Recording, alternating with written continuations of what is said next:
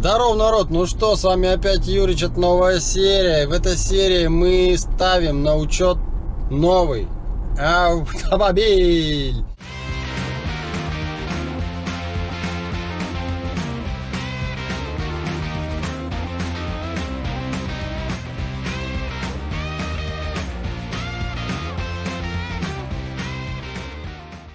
Он уже в сериях, конечно, появлялся, вы, возможно, его видели, но все-таки в этой серии я покажу, как я ставил его на учет, где это делал, как это вообще делать, и из каких этапов это состоит. Так что давайте, погнали в сюжет, там лайки ставьте и комментарии пишите, пожалуйста. Народ, пожалуйста.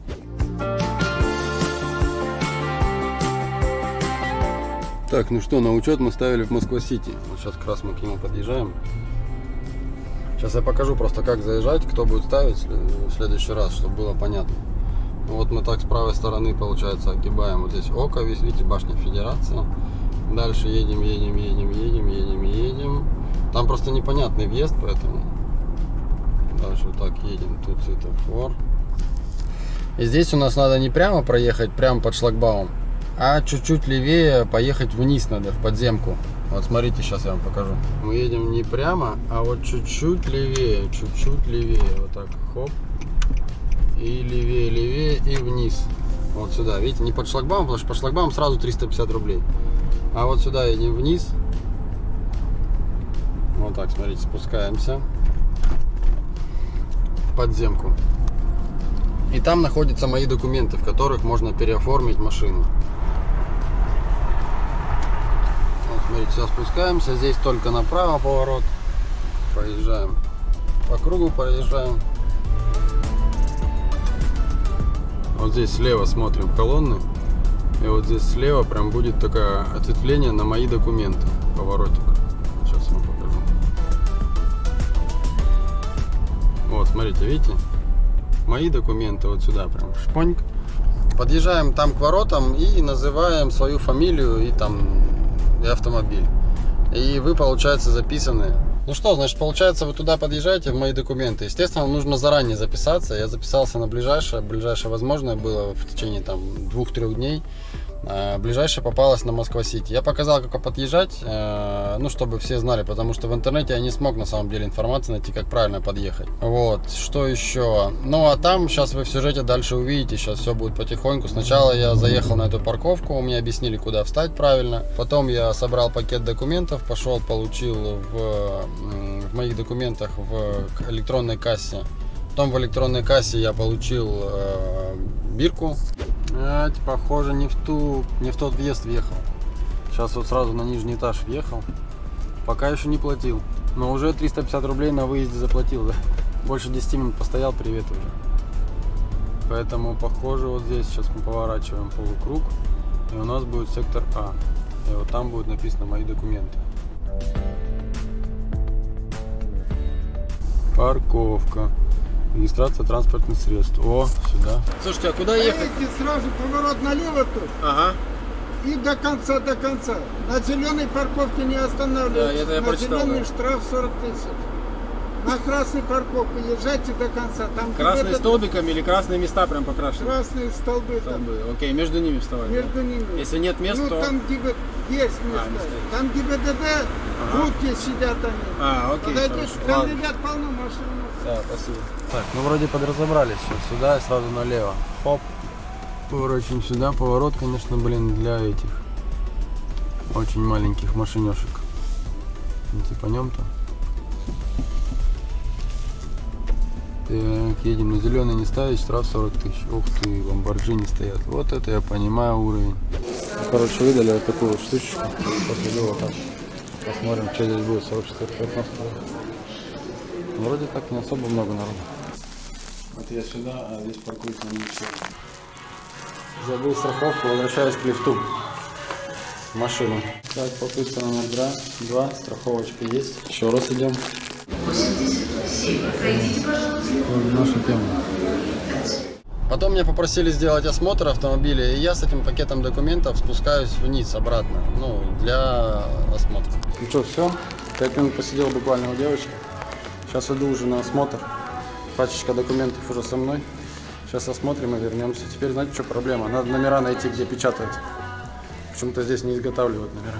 Ну что, осмотр я прошел. Я сейчас бегу дальше, обратно сдаю этот пакет документов уже без э, квитка, без электронной очереди. То есть просто в то же окошечко, в которое мне сказали обратиться.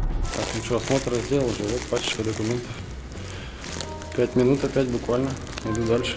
Ну все, документы сданы. Я еще параллельно обратился в компанию, которая делает номера, потому что номера у меня была замена номеров. А, И вот в этом моем, мои документы в этом отделении номера не печатают. То есть нужно было отдельную контору обращаться. Но так как это Москва-Сити, здесь много всяких контор э, имеет свои филиалы. И я, получается, параллельно просто сразу обратился к этим ребятам из э, компании, которые печатают номера. И в, те- в течение там 10-15 минут они мне номера уже принесли. Так, ну что, все, иду домой уже. Час примерно прошел. Номера тоже со мной.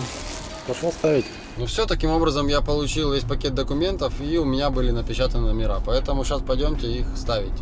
Ну что, птичка в клетке ровно час, сейчас, а, 19.21, а я зашел сюда в 18.03, получил талончик на электронную очередь.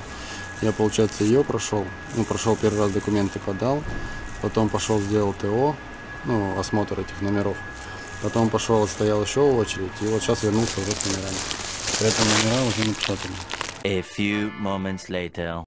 Так, ну что, все. Номера установлены, можно ехать. Вот они опять стоят бестии. Офигенно, офигенно.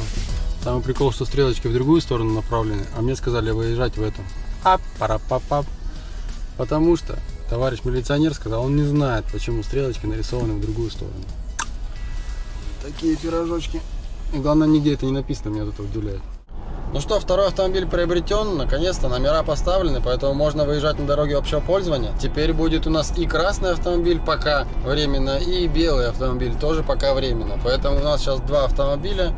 Ну и что ж, про них будут теперь серии. Теперь буду мучить вас с двух сторон.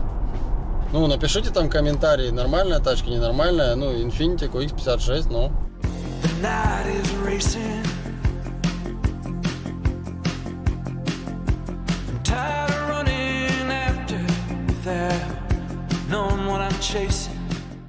Сейчас, прикиньте, еду, меня останавливают полиционеры наши доблестные, говорят, какой-то рейд, откройте багажник, там все эти дела.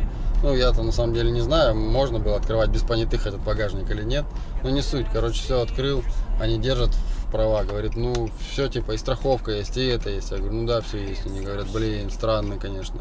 А прав, говорит, не лишался еще ни разу? Я говорю, да нет, не лишался. Ну ладно, давай тогда, не зарекайся, счастливого пути. Я думаю, а что это за такая за, за проверка была на лишение прав? Ну, если бы лишался, и что? Они меня что, проверять больше бы стали? Что-то я вообще не понимаю. Какой-то странный рейд был. Трое было, трое государей было. Так-то, конечно, машина очень комфортная. Едет очень плавно, разгоняется очень быстро, там 7 секунд до сотки. Ну, очень приятная на самом деле. Ну что ж, господа, поздравляйте, поздравляйте в комментариях, напишите хоть пра- правильно купил машину, неправильную. В основном для эксплуатации в городе и для междугородья. Хоть прокатиться по Золотому кольцу России, а то ни разу же не катался, блин, по нему. Ну что, вот и вся серия такая коротенькая, но зато на одну тему, как вы и просили. С вами был Юрич, всем пока, спасибо.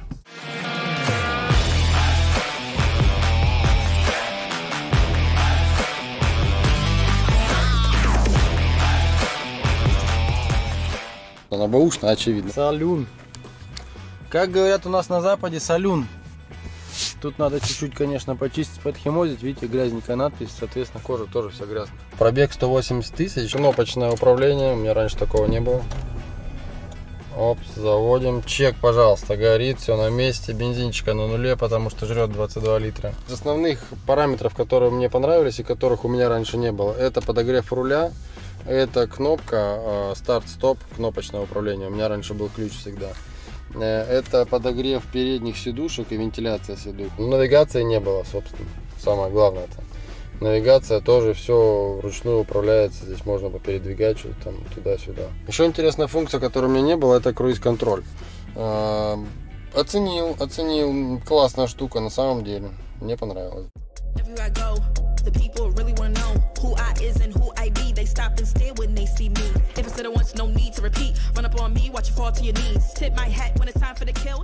Задние сидушки у нас поднимаются очень просто кнопочками. Вот есть кнопочки здесь, две. А есть точно такие же в багажнике. То есть вот сюда мы приходим, и вот они кнопочки левая, левая, э, правая, левая. Медленно, но что делать? Если сидушки у нас разложены, то багажничек у нас получается совсем маленький. Но в целом для одного чемодана боком положить, в принципе, войдет. Здесь, конечно, внутри места, видите, не так много. Ну, то есть человеку, взрослому, да, сидеть здесь э, долго не получится. Я-то думал, что можно путешествовать будет на долгие расстояния куда-то выезжать. А по сути, так, ну, такого нельзя сделать.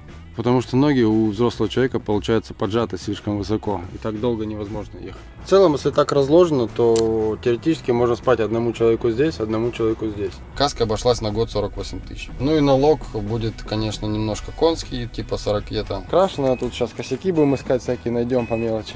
Ржавчины, вон точечки всякие есть.